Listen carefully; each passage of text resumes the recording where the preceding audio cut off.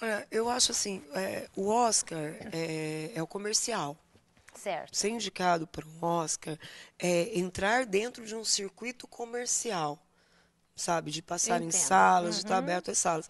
Agora o Brasil já tem sido indicado, já foi indicado várias vezes, sempre foi indicado em muitos dos festivais, que são festivais mais cultos, festivais mais culturais da Europa, Festival de Moscou, outros festivais é, que têm tanta importância, importância ou, ou, até mais importância para quem trabalha com cinema do que o Oscar, que na verdade é muito mais voltado para essa indústria cultural de distribuição, né? Então assim é importante para a gente sim ganhar dinheiro com o cinema nacional, com claro. certeza, e levar o nosso nome, o nosso cinema para várias salas de distribuição. Mas o cinema brasileiro está sempre presente em vários festivais que acontecem no mundo fora o Oscar.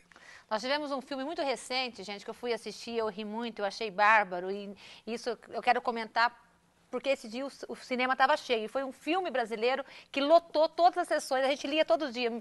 É, não sei quantos milhões viram esse filme. O filme da Ingrid Guimarães, De Pernas para o Ar, que eu achei uma graça. E lotava. Eu lia direto na internet, todas as salas do Brasil de cinema lotava todas as sessões. Então, para você ver a força que está o cinema brasileiro, né? Ah, e a gente, e, e, em todos os estilos, você vê. Eu falei do cinema brejeiro, brejeiro. do Guilherme Arraes, falei desse cinema é, de favela, né, que tem aí aí do, do Fernando Meirelles, mas se você pega Pequeno Dicionário Amoroso, é, toda essa, os filmes com Celton Mello, mesmo é, O Cheiro do Ralo, é, o o Palhaço, Desafinados. Você tem uma Você leva de filme. Ah, eu, eu gosto. Você vê tudo isso? Eu gosto. de documentário também. Eu assisto bastante cinema nacional e documentários. Esse Dia Nacional do Cinema Brasileiro, o que, que se hum. faz pelo Brasil a, a respeito? Bom, a gente está tendo aí várias salas de cinema hoje que estão tendo mostras especiais por causa do, do Dia Nacional. Dia. A gente tem a Programadora Brasil também, que é do Ministério da Cultura, que incentiva e faz toda a distribuição, incentiva também cineclubes, inclusive para quem tiver interesse. A gente, a gente tem um cineclube que funciona aqui na Unipar sextas-feiras. Eu vou falar com a equipe para estar tá colocando isso daí também na agenda cultural, que é bem interessante para quem quer assistir cinema diferente assim, mas existe toda uma programação nacional até incentivada pela Secretaria do Audiovisual do Ministério da Cultura para a comemoração do cinema nacional hoje. Né? Aqui em Morama, infelizmente, não nós não temos nada, mas a não ser a Marta Costa, né?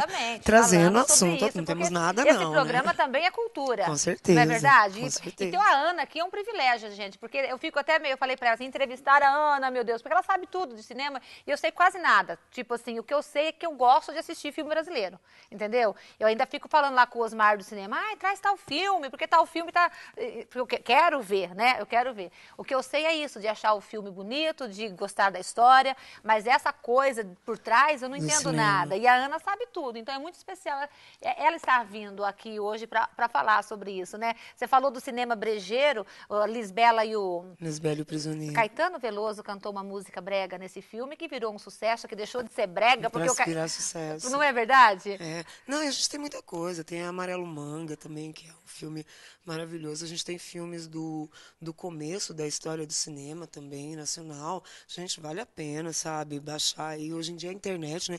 Eu tava rindo. Você vê tudo, né, Ana? Nossa, eu tava rindo com o meu coordenador, né, do curso de publicidade, Rodrigo Oliva, que eu falei que o YouTube mudou meu paradigma, porque tudo aquilo que antes eu só ouvia falar, que eu só estudava a respeito Agora daqueles filmes, hoje eu digito e tá ali embaixo. Então, gente, tem muita coisa.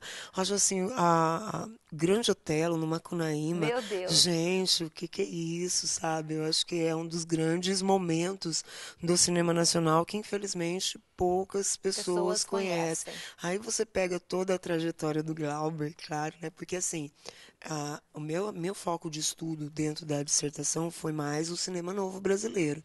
Agora, toda a história do cinema brasileiro tem muita coisa boa que vale a pena, assim, conhecer. Então, na verdade, qual que é o objetivo dessa visita da Ana aqui no nosso programa? É chamar a sua atenção para que você assista os filmes brasileiros, para que você, indo aos cinemas, lotando as salas de cinema quando está passando um filme brasileiro, você está incentivando as pessoas a investirem mais nessa cultura. É, Não é isso, Ana? Com certeza. E assim, gente, nós temos que entender que a gente acabou se acostumando ao modelo de produção norte-americano e que às vezes a gente se assusta quando é um modelo de produção diferente, quando é um ritmo de filme diferente. Agora a gente também, é, eu gosto de uma frase do Nelson Rodrigues que fala que toda unanimidade é burra. Exatamente. A gente também não pode ficar só ali naquilo. É legal ter esse diferente. Eu acho que não só no cinema brasileiro, mas a gente tem um cinema argentino que está cada vez mais forte, um cinema latino-americano, cinema mexicano, a gente tem um cinema europeu. Então assim vale a pena. O cinema israelense está muito forte também. Então assim vamos conhecer outras coisas, é, vamos assistir os Velozes e Furiosos, sim, sim, mas vamos buscar outras coisas também, até porque eu falo que até para falar mal, a gente tem Exatamente. que conhecer. Com Até para falar eu não gosto, a primeiro eu tenho que conhecer para saber se gosto ou não. Então vale a pena pesquisar e conhecer, sim. Você passa todo esse amor seu pelo cinema para os seus alunos do curso de publicidade e propaganda? Como é que é essas aulas? Olha, na verdade. é, é, só para o curso de publicidade e propaganda, essa história do cinema não, que se fala? Na verdade, Tem outros cursos que a gente vê? É, dentro do curso de publicidade e propaganda, eu não trabalho cinema. Ah. Quem trabalha a matéria de cinema é o professor Rodrigo Oliva, que é formado também em cinema. Né? Eu trabalho, eu trabalhei com cinema na minha dissertação, no meu mestrado, mas eu não fiz faculdade de cinema. O Rodrigo fez. Eu trabalho com cinema no curso de história, na matéria de história da arte, porque daí eu vou falando de toda a arte, inclusive certo. da história do cinema. Então, assim, é mais. É curiosidade de aluno mesmo, desde a época da faculdade. Eu lembro quando eu estava no meu segundo ano de faculdade, a gente fez um filme em, em, película. Acho que foi um dos últimos filmes em película que fizeram certo. aqui em Umuarama. E a gente rodou. Eh, foi Espaço Unibanco, foi Festival de Gramado. E desde a época da faculdade, como acadêmica, eu me apaixonei pelo cinema. E aí acabou que eu estudei acabou. cinema. Ô, Ana, tem um grupo de jovens da nossa cidade que, eles, que, que é apaixonado pelo cinema. cinema também. Gravaram uma um websérie né? É. E eu gostaria muito de trazê-los aqui no nosso programa, porque você está contando é desde curiosidade da época do estudante, tudo. Nós temos esse pessoal aqui de Umarama que a intenção deles, o projeto deles é para que essa websérie se transforme num longa, uhum. né? Num filme. Você já pensou? Pessoal aqui de Umarã fazendo é, filme? O, o, que eu acho lindo nesse advento tecnológico que a gente vive, que é até é, quando eu estudo Glauber, eu vejo isso. Nunca o pensamento do Glauber teve tão atual igual agora. Porque hoje em dia qualquer pessoa tem uma câmera. Nem Exatamente. que seja uma Teca, não sei o que lá, né? Que eu acho que eu não posso falar o nome aqui. Mas assim, todo mundo tem uma câmera, todo mundo é, tem a possibilidade. Você Exatamente. vê que o YouTube está o tempo todo, pessoal.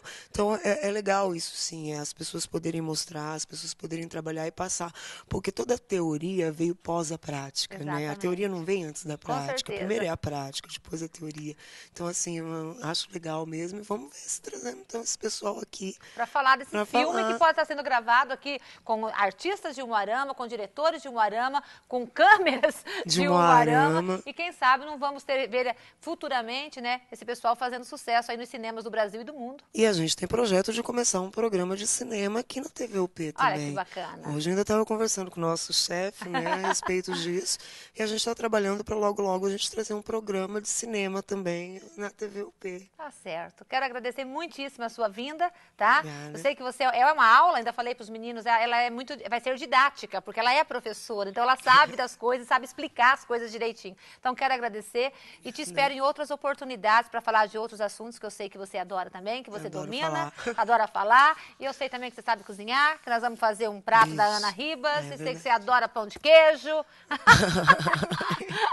Não, pão de queijo, quem gosta é o João é, Gabriel. Brincadeira, brincadeira. Então, quero agradecer muito. Obrigada, Vai ser sempre bem-vindo aqui. Obrigada por tudo, Obrigada, tá bem? o prazer é meu de participar do seu programa. Dia Nacional do Cinema. Então, ó, quando tiver um filme brasileiro bacana, ó, vá assistir, tá? A gente vai estar incentivando a ser investido mais recursos nessa cultura, tá certo? Assista aos filmes brasileiros.